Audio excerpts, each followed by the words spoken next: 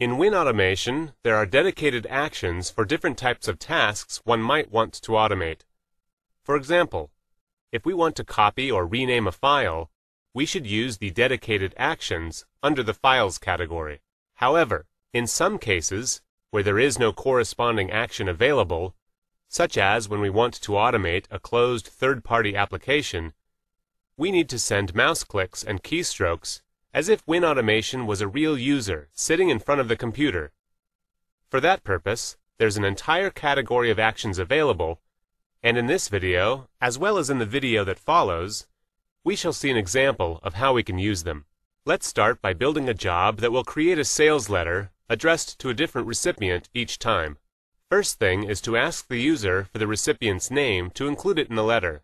We do this by adding a Display Input Dialog action some message. We change the name of the variable to the more descriptive recipient name, and we're done. Now that we have the name, we need to launch WordPad. To do so, we could add some send mouse click actions to click on the Start menu, All Programs, Accessories, etc., or even send a double click on a shortcut on the desktop. That would work, but it would be slow and fragile. After all, the shortcut could be moved or deleted. Instead, and getting back to the point we made earlier, we need to use a dedicated action. In this case, we will use the Run Application action. Here we enter the name of the application, and since we want to send mouse clicks and keystrokes to it, we shall tell the action to wait until the application is fully loaded. Okay, the next step is to send the text to WordPad as if we were typing it directly. We use the Send Keys action for this. And here we enter the text that we want to send. At the point where the recipient's name is required, we click on the gears icon and select the variable that holds that name, as specified in the first action. As we write, we want to change the font to bold. In WordPad, we would do so by pressing Ctrl B.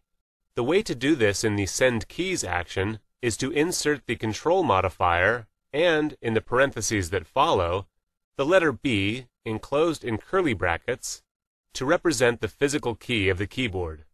We do the same to return to normal font, and we finish our letter.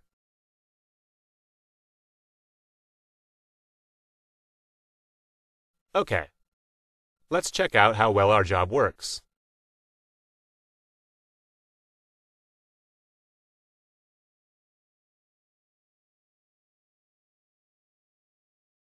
Works great. This is a very basic example of how we can automate everyday tasks by simulating keystrokes. Check out our next video, in which we will control the mouse to save the letter we created. Thanks for watching.